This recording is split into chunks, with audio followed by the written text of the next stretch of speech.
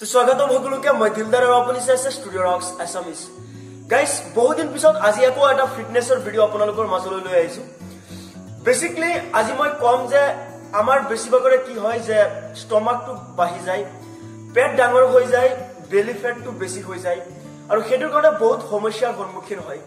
চ' আমি কেনেকৈ বেলি ফেটটো ৰিডিউচ কৰিব পাৰিম মই এটা টিপছ দিম গাইজ এটা টিপছ আপুনি ছেভেন ডেজ ফ'ল' কৰক। ছেভেন ডেজ ফ'ল' কৰক আপোনাৰ মানে এটা ৰিজাল্ট মানে আপুনি গম পায়ে যাব যে আপোনাৰ ষ্টমাকটো লাহে লাহে মানে কমি গৈ আছে প্লাছ আপোনাৰ বেলিত যিটো মানে এক্সট্ৰা ফেট আছে সেই ফেটটো ৰিডিউচ হৈ আছে তো গাইজ প্ৰথমতে আপোনাক কওঁ যে একচুৱেলি আমাৰ ষ্টমাকত ফেটটো কিয় বাঢ়ে চব ইয়াৰ লগত জড়িত হৈ আছে যে বেচিকেলি কি কৰোঁ আমি ৰাতি আহাৰ গ্ৰহণ কৰোঁ ৰাতি আহাৰ গ্ৰহণ কৰি আমি বাৰ ঘণ্টা বা এঘাৰ ঘণ্টা বা দহ ঘণ্টা শুই থাকো।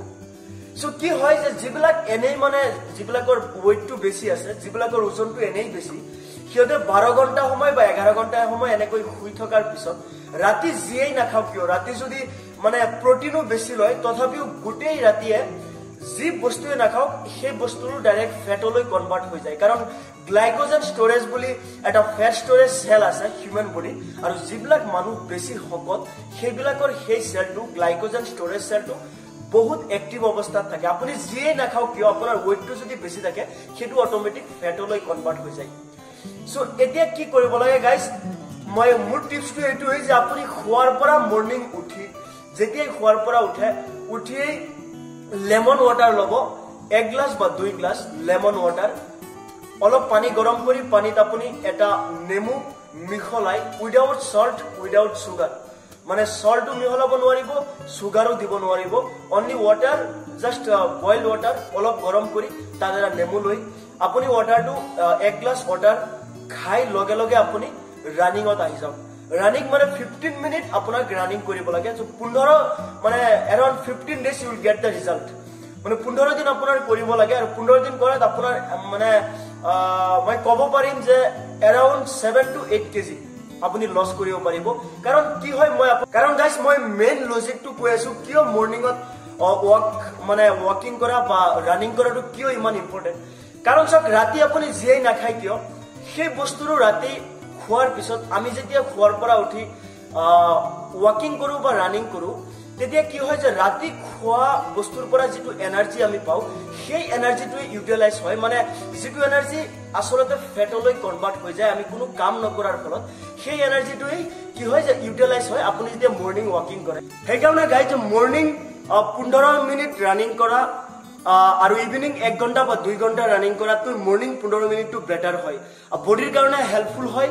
কাৰণ কি হয় যে আপুনি নোখোৱাকৈ যেতিয়া ৰানিং কৰে তেতিয়া আপোনাৰ বডিত যিটো মানে ৰাতি যিটো আপুনি মিল লৈছিলে সেই মিলৰ পৰা পৰা পোৱা এনাৰ্জিটো মানে ইউটিলাইজ হয় যাৰ ফলত এক্সট্ৰা ফেটটো ষ্ট'ৰ হ'ব নোৱাৰে।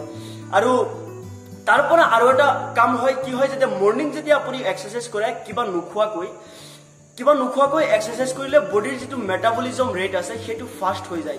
আৰু মেটাবলিজম ৰেট ফাষ্ট হোৱা মানে আপোনাৰ বডিৰ ডাইজেশ্যনটো ফাষ্ট হৈ যায়। আৰু ডাইজেশ্যন ফাষ্ট হ'লে অট'মেটিক আপোনাৰ যিটো বেলি ফেট আছে সেই ফেটটো আপুনি অতি সহজতে ৰিডিউচ কৰিব পাৰে। তো গাইজ পইণ্ট এইটোৱেই যে আপুনি যদি ৰানিং কৰিব পাৰে তেতিয়াহ'লে মানে পোন্ধৰ মিনিট অ'কে আৰু যদি ৰানিংটো কৰিব নোৱাৰে যদি ৱাকিঙত ৱাকিং কৰে বা জগিং কৰে তেতিয়াহ'লে thirty minutes you have to walk আৰু গাইজ মৰ্ণিং ৱাকিং বা ৰানিঙৰ পৰা কি হয় যে আপুনি এনাৰ্জেটিক ফিল কৰিব পুৰা দিন গোটেই দিন আপুনি এনাৰ্জেটিক ফিল কৰিব। প্লাছ বেচিকলি যিবিলাক বেমাৰ একচুৱেলি ৰিলেটেড থাকে পেট ডাঙৰ খোৱাৰ লগত যিবিলাক বেমাৰ basically high blood pressure plus diabetes এইবিলাক বেমাৰ এইবিলাক বেমাৰ হোৱাৰ চান্সটো কম হৈ যায় মৰ্ণিং ৱৰ্কআউটটো কৰিলে। চ' গাইজ চ' এইবিলাক বেমাৰৰ চান্স বহুত কমি যায়। আপুনি যদি মৰ্ণিং ৰানিং বা ৱাকিং কৰে। চ' গাইজ আপুনি পোন্ধৰ মিনিট প্ৰতিদিনা ৰানিং কৰক আৰু যিটো লেমন ৱাটাৰ আছে লেমন ৱাটাৰটো খাই পেলাই আপুনি ৰানিংটো ষ্টাৰ্ট কৰক। Suppose within fifteen days you'll get a result তো গাইজ আজিলৈ ইমানেই আছিলে। যদি ভিডিঅ'টো ভাল লাগিছে লাইক এটা কৰি দিয়ক শ্বেয়াৰ কৰি দিয়ক এণ্ড ছাবস্ক্ৰাইব কৰি দিয়ক। আৰু মোৰ নেক্সট ভিডিঅ'টোত গাইজ কিছুমান ৱৰ্কআউট মই কিছুমান ৱৰ্কআউট দেখুৱাম যিবিলাক আপুনি ফেট লছটোৰ কাৰণে মানে খুবেই জৰুৰী আপোনাৰ ষ্টমাকটোৰ কাৰণে যিবিলাক ৱৰ্কআউটৰ জৰুৰী মানে দৰকাৰ হয় সেই ৱৰ্কআউটৰ এটা ভিডিঅ' নেক্সটত আহি আছে। তো ষ্টে টিউড